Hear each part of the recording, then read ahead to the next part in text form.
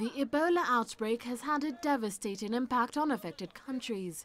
That includes food shortages and unemployment.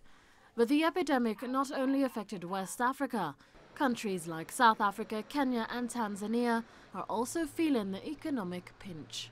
The, the first impact, of obviously, is the direct costs in terms of what does it take to, to contain the disease um, and, and, to put in place um, infrastructure for public health care.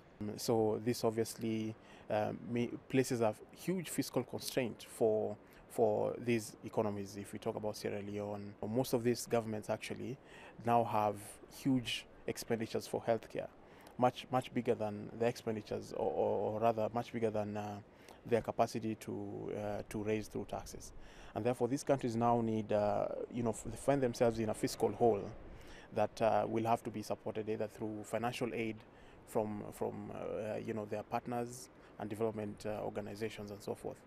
UN Chief Ban Ki-moon has been making urgent calls for the international community to join efforts to stop the virus.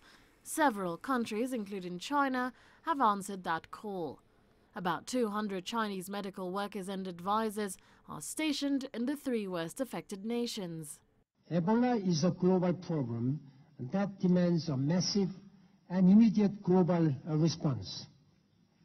The entire United Nations system, including World Bank, are mobilized to do all it can, including through UNMEER, United Nations mission for United Nations missions for emergency Ebola uh, response.